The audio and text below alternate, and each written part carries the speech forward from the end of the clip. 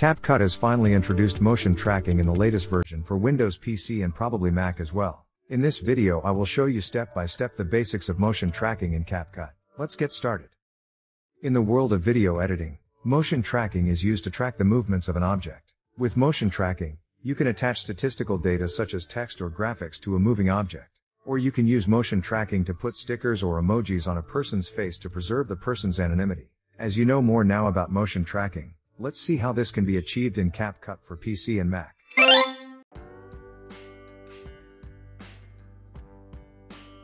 As I said, I'm using the latest beta version for PC, which was released yesterday.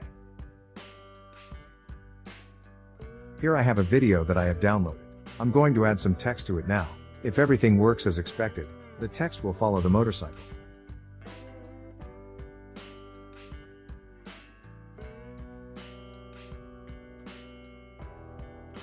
Standard text is enough.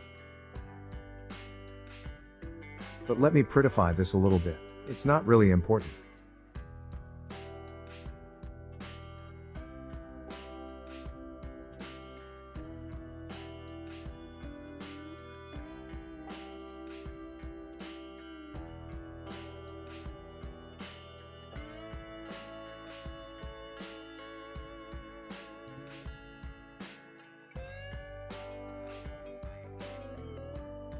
I don't like it that way.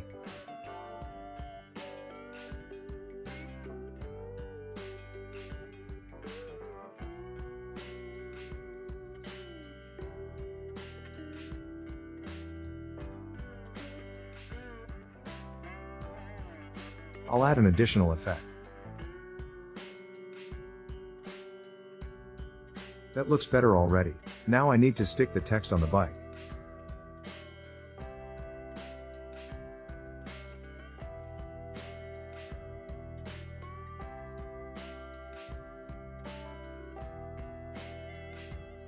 With the text selected, click the Tracking tab. A yellow rectangle will appear.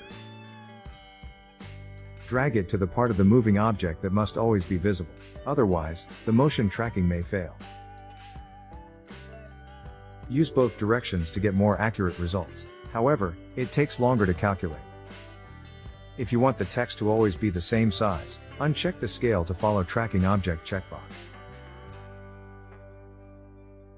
Then click the Start button to start the calculation.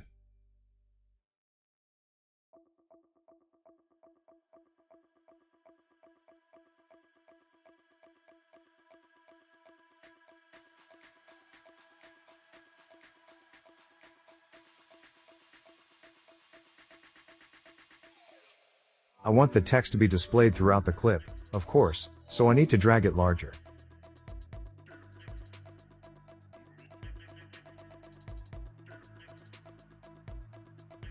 I do a few more tweaks and then hit restart.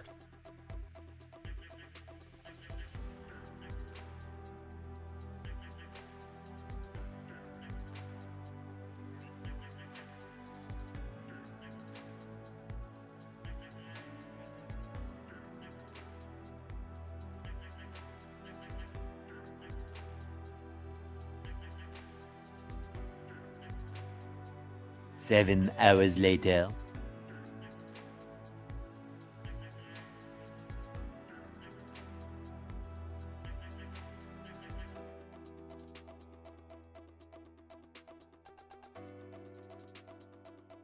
Now it looks fine. Let's take a look at it in full screen mode.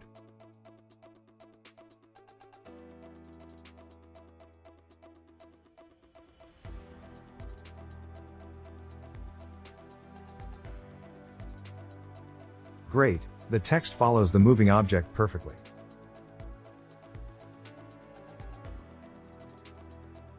To remove the relationship, just select None.